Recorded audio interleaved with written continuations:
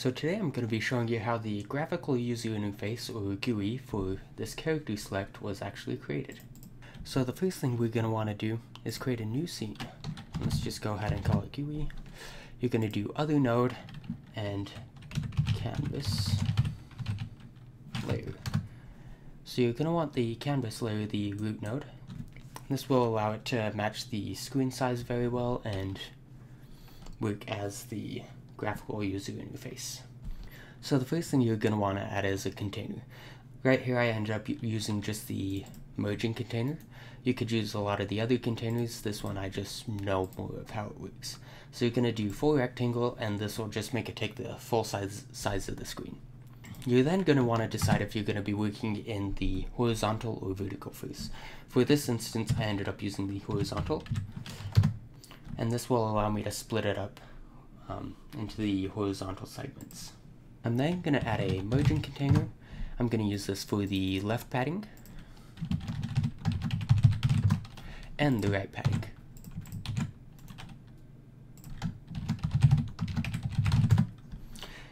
In this case, I'm going to want the left padding to take up as much space as it can, and I'm going to give the right padding a set size. So the way I'm going to do that is the right padding, I'm just going to go down here to rect, and set the min size on the X to 100. This is going to make it take 100. And on the left padding, I'm going to go ahead and set the size flag, expand horizontal, and this is going to make it take as much space as it can. So the next thing I'm going to add is the spot that contains the buttons. For this, I'm going to do a V-box, and this is going to be much like the vertical or horizontal, but it's going to be in the vertical direction. And much like the H-box, I'm going to add padding to the top and bottom. Unlike the H box, I'm going to want the top and the bottom to take up as much as they can to center the buttons.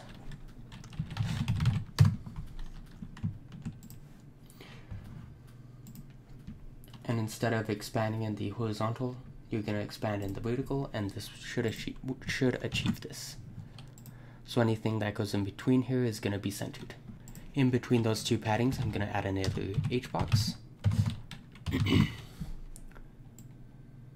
And this is going to be used to have a button in it. So this is going to be the head, and I'm going to add to that a button, a label, and another button. And that's going to split it up just like this. The button I had a minus, a plus, and the label I just had head.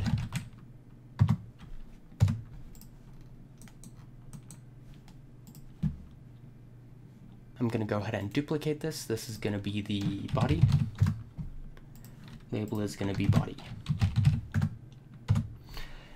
Now normally you're going to want to create your own scene for each of these because they're very similar and that's what I ended up doing in the main project but I'm going to have it split up right here or uh, I'm going to have it in one scene here instead just because it'll be easier for you to see it all. I'm going to go ahead and add the legs.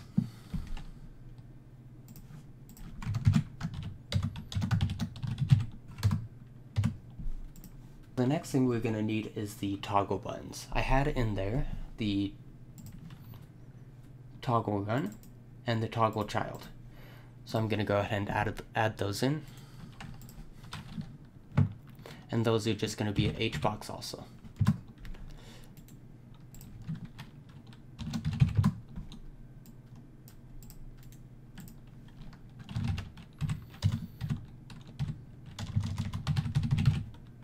So if you go into the button, the toggle is the checkbox.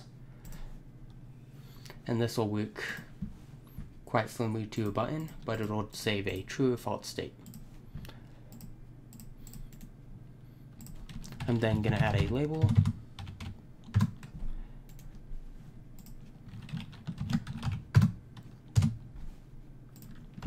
I'll just duplicate this. Yet again, this should probably be its own scene of a toggle button scene. Um, but in this case, I'm just going to have it in here so that it looks simpler.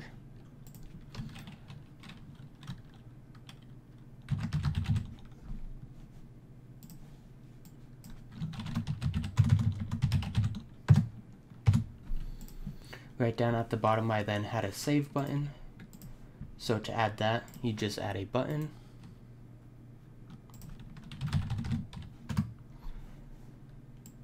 And then just make sure it's above the padding. And then you could just change the text on here. Save. And this is how it looked in the finished thing. Now this isn't linked up or anything, this is just showing the how I built the GUI. One thing to note, the save button is the button is going to take up the size of the container. So it looks fine in this instance, but if these labels were a lot bigger,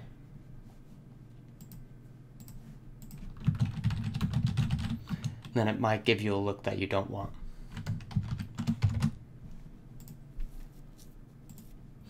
So that's the showcase of how the GUI was built inside the character select demo.